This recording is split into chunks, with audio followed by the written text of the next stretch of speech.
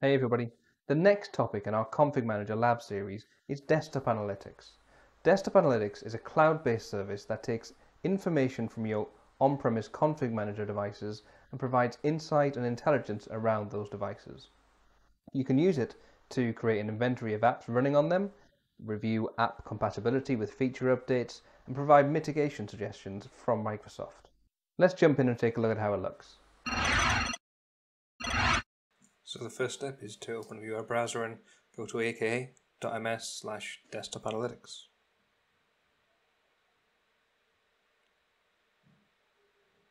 And from here we're just going to go ahead and click start and then accept the agreement.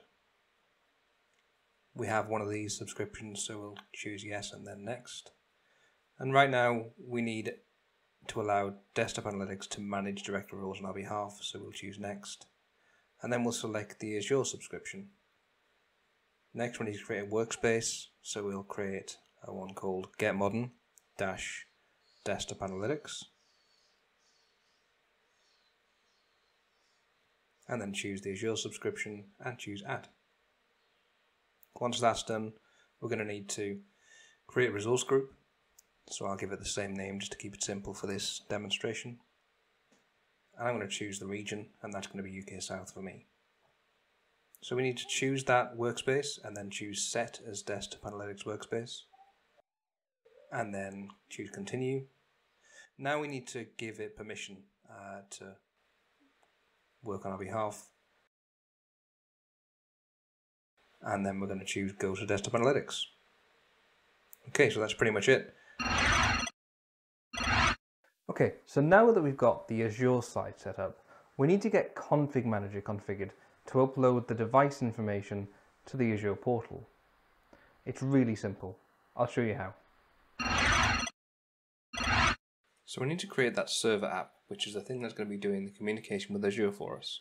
So I'll go ahead and choose a name like Get On Desktop Analytics, and we want to choose a secret that never expires, and then sign in. Now that we're signed in, it's just a case of clicking OK and then OK. We're going to use the Azure Public Cloud, so it's just a case of choosing Next. And then this commercial ID will automatically pre-fill. All good. I want to change the diagnostic data level to optional rather than optional limited. And I'd quite prefer the device name to be available in the diagnostic data, so I'm going to change that from disable to enable. So with Windows 10 1803 and later we get full functionality out of Desktop Analytics. And here we just need to give Config Manager a name in Desktop Analytics. So I'm going to go ahead and call it Get Modern Config Manager. And then we need to choose that collection that we created earlier on for desktop analytics computers. In my environment, I don't have a user authenticated proxy, but if you do, go ahead and choose yes. And right now we're not going to do a pilot. I don't have enough lab computers to, to do a pilot. Okay, so we click close and we're all done. Okay, so the next step is to take a look at how this new configuration is affecting our clients. And then we're going to go over to configurations and check to see if it has a config. Alright, so a new baseline's appeared. Take a look at this. So it's called M365A settings. Revision 1, last evaluation is relatively recently, 4 minutes ago according to this clock. It's compliant. That's good.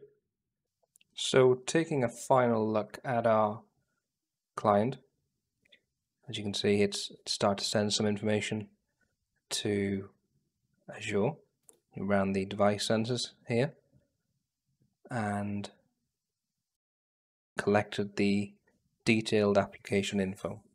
So heading over into Desktop Analytics Admin Center, we have um, we've, got no managed devices yet, which is a shame. And Alex, so it, we're processing your data. If this message persists for more than 72 hours, you may have connection health issues. Okay, so unknown issue occurred.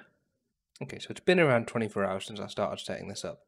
So yeah, we're just going to have to wait a little bit longer and then take a look. Okay, so check out part two to see what insights and information we get from our config manager connected devices. Be sure to subscribe and hit the notification bell if you want to be notified when we release a new video. For now, thanks for watching.